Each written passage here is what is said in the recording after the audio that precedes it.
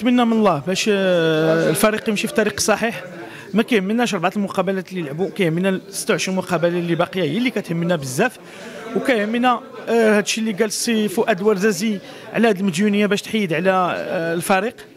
وندوزوا ندوزوا لقوانين جديدة إن شاء الله الرحمن الرحيم. آه، هي أهم حاجة.